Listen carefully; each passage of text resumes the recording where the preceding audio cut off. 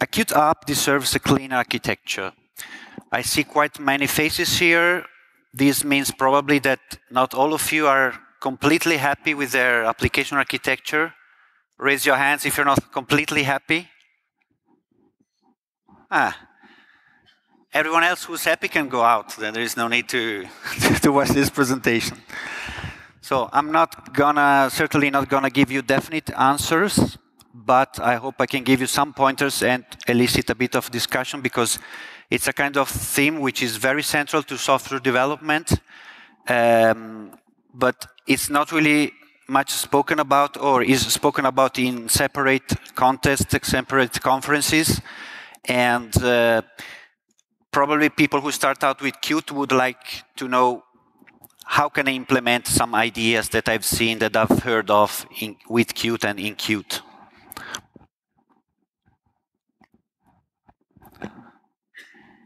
Oh, sorry.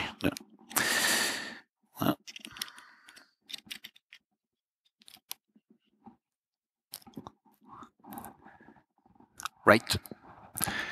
So we, we have this, this metaphor of architecture, which means uh, having bricks, doors, and windows, and using them to build our house like the three little pigs, right? We want our house to be solid as the, the third pig, but of course, it's not just that. Software is a bit different. We also want it to be flexible and uh, modifiable without uh, um, having to rewrite everything from scratch every time, right? So Qt provides us with the bricks, the doors, and the windows, no? We have to create um, the rooms of our house. And those rooms can be large, big, they can be connected in many ways, and we don't know when we begin our project. What you do with what Qt gives to you is your problem, no? Is what you have to do as an application developer. And it is a good thing to have freedom because many other frameworks uh, are more at the architectural level. They tell you MVC, everything should be MVC, model view controller, and you, you have to stick to that, okay? Sometimes it's good, sometimes it's not. So you need a blueprint for your house.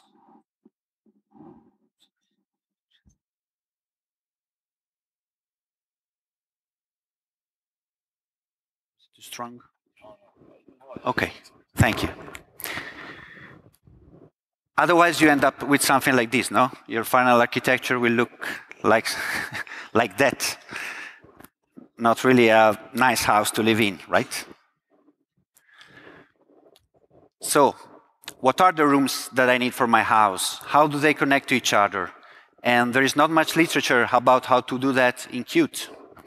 Uh, there are a couple of interesting examples. This first article is uh, from David Johnson from ICS, and uh, it's a good starting point. At least it tells you um, you've got your QML layer, UI layer, and then you've got uh, adapters where you expose your models uh, as QObject instances, uh, the things that we already know.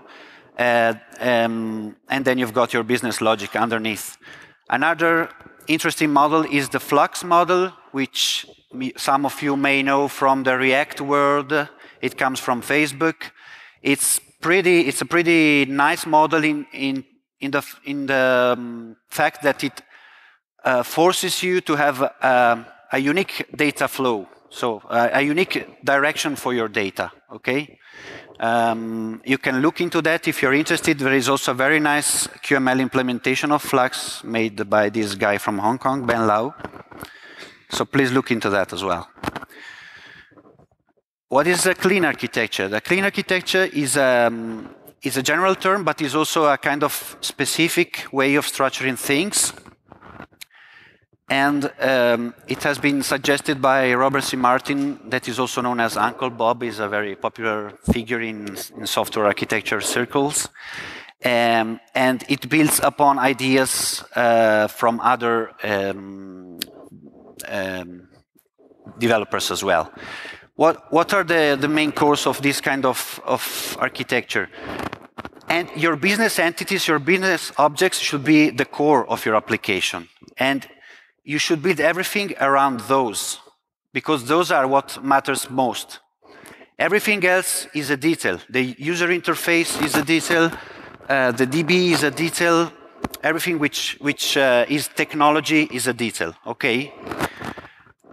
Around your user, your entities, your business objects, you've got your use cases. Use cases are nothing else than other than interactions between entities, okay? You've got your user, you've got your cash machine, and an interaction, a use case is an interaction, for example, between the user and the cash machine, okay? Then you've got gateways, controllers, and presenters, which are just an interface layer with the outer world. Okay, the nice thing about, our, uh, uh, about this approach is that it is in independent of frameworks. It is testable because you've got very clear and well-defined layers. It is independent of the UI because you should be able to test your entities and your use cases without having to touch your UI, for example. That's a completely separate concern, okay? Independent of the database because that will also be encapsulated and independent of any other kind of external agency. Now, this is all very abstract, and I want to show you what this means for the Qt world.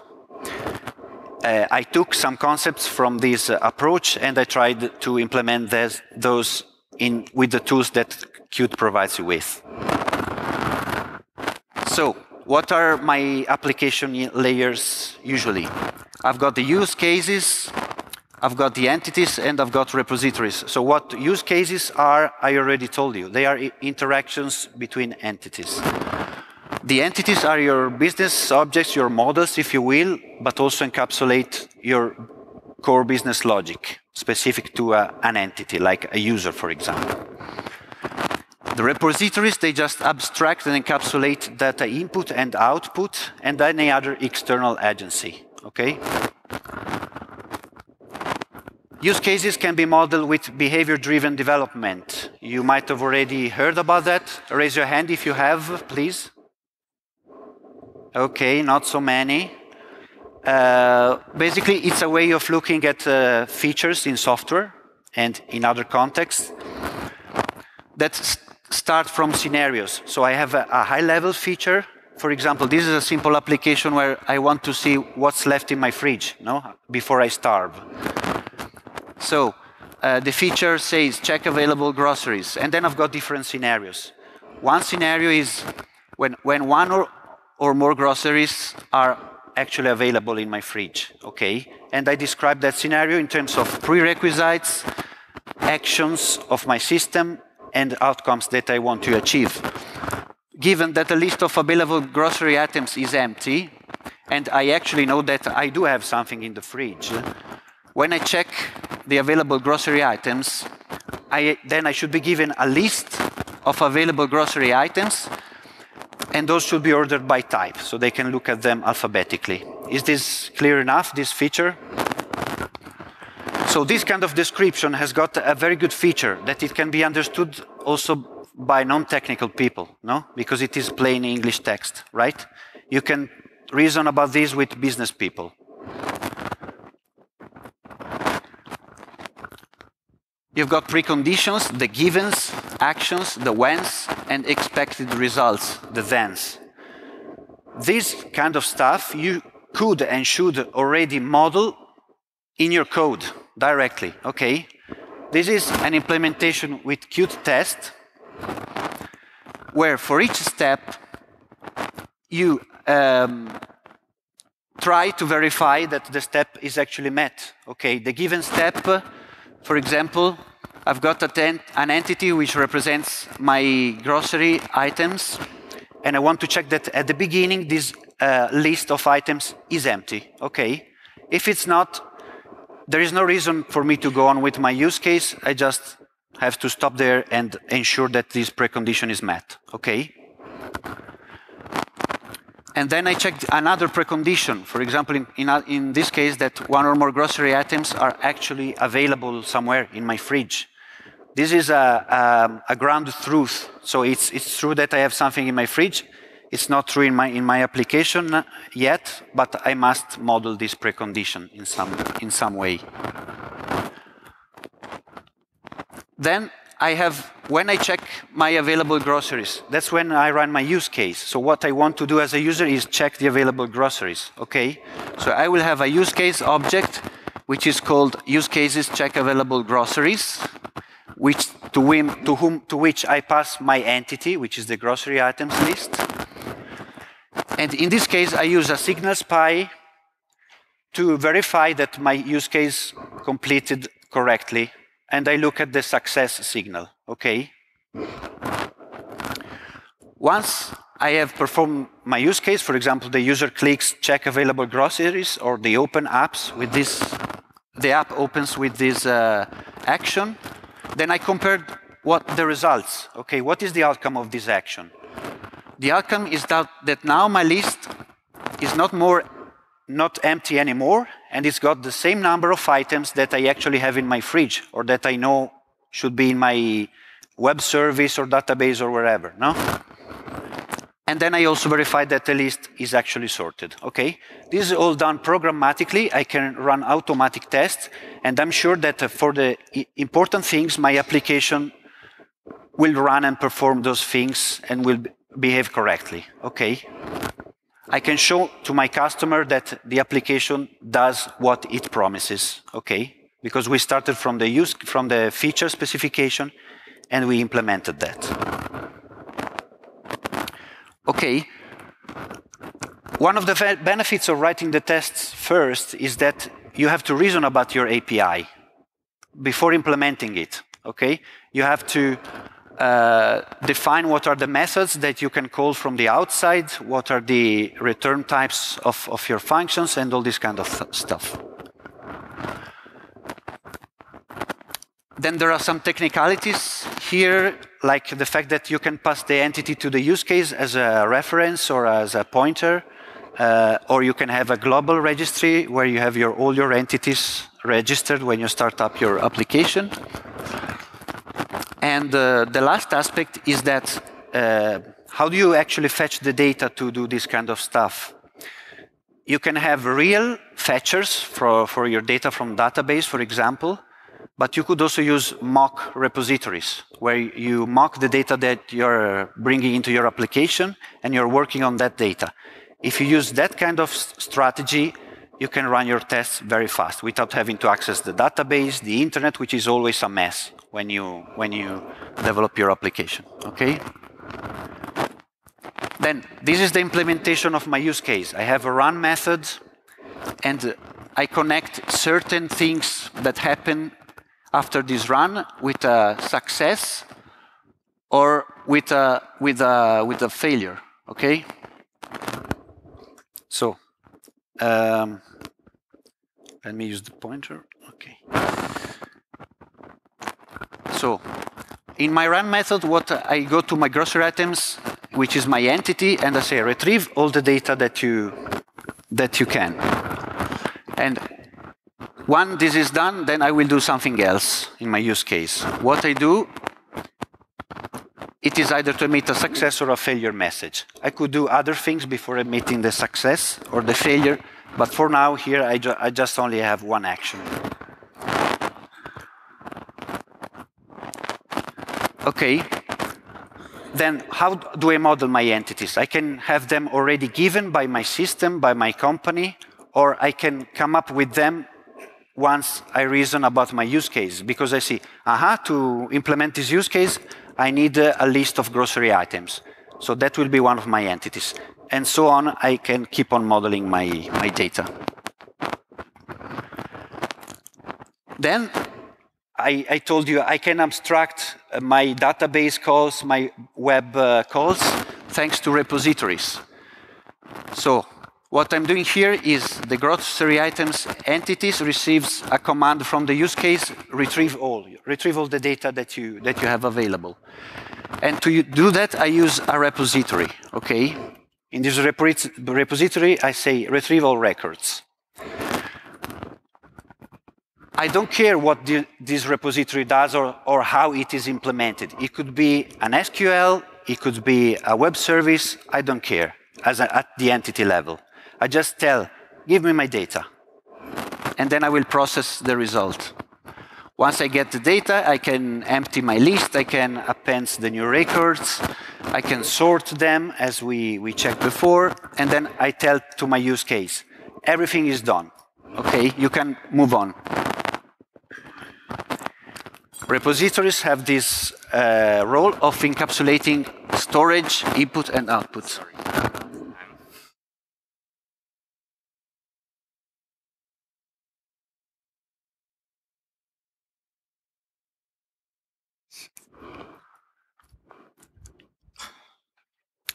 Okay, uh, so in this way, I can encapsulate technology, leave it outside of my logic and of my system, and just use it whenever it's needed.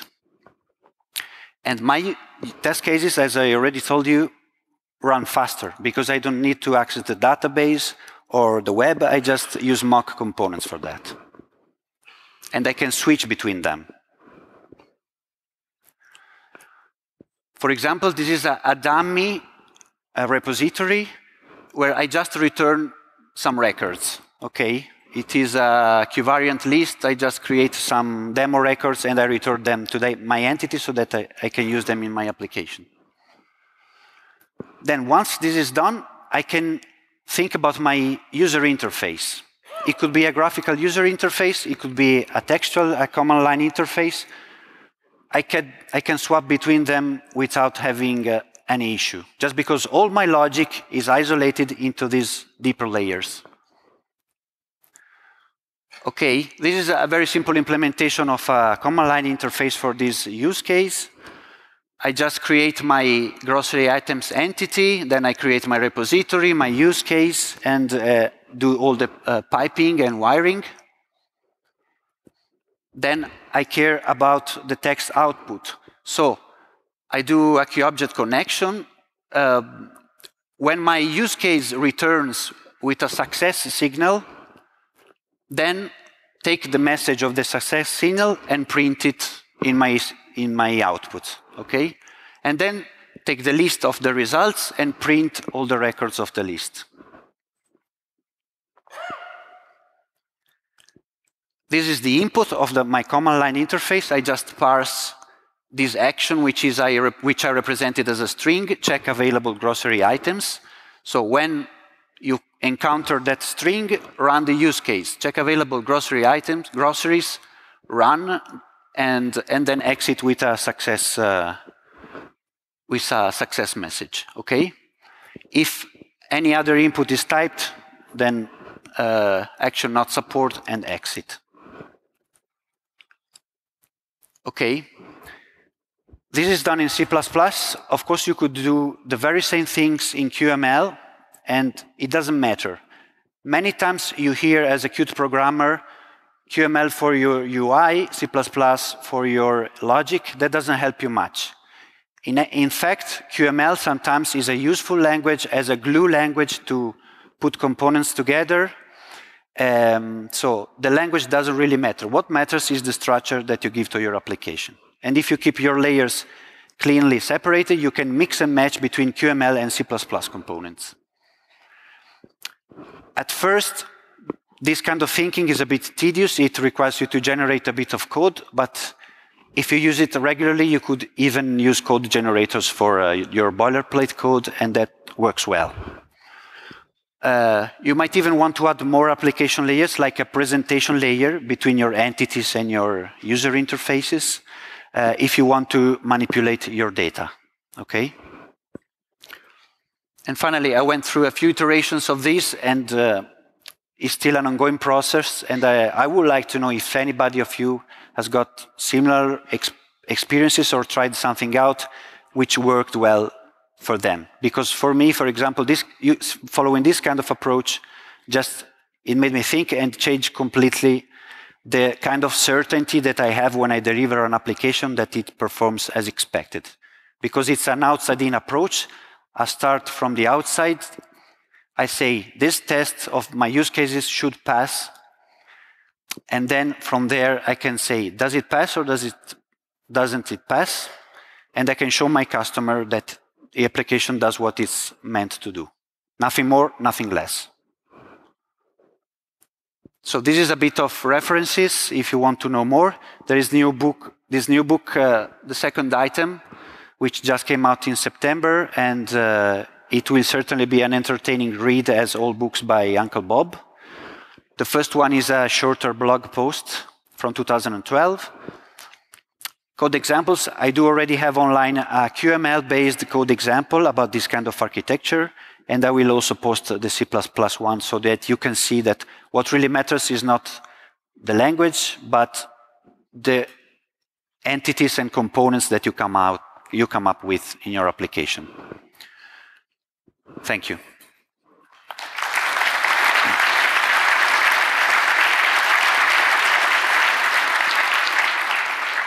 So thank you very much, Marco. Any questions?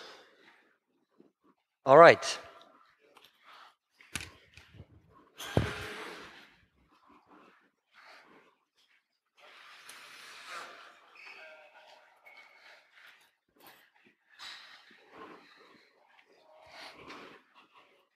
Okay.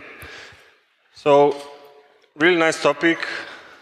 I started something similar about two years ago as a proof of concept. Yeah, the and command query approach. Exactly. Yes, I saw that. Uh, okay. So how we ended up that, it, we created the proof of concept, and our, conc our conclusion was that we ended up writing too much boilerplate code. Yes. Uh, you also mentioned the code generators. How, how did you find that scaling on a larger application?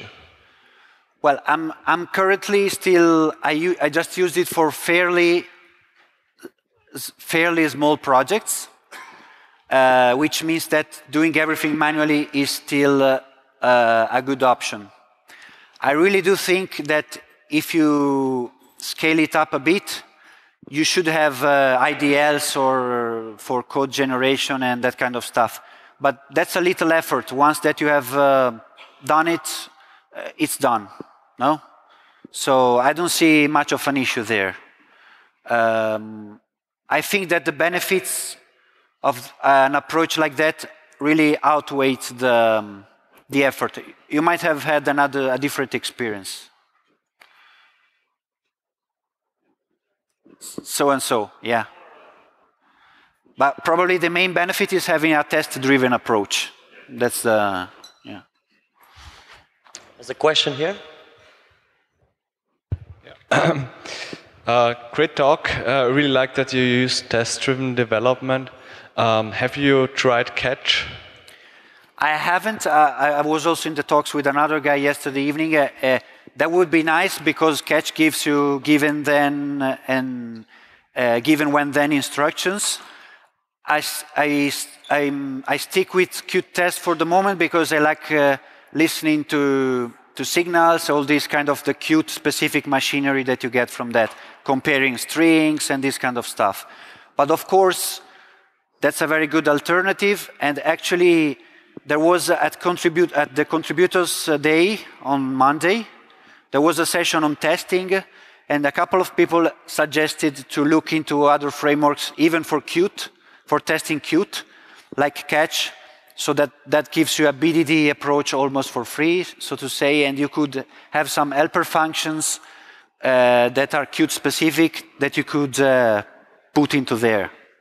Yeah. So yes. Any last questions?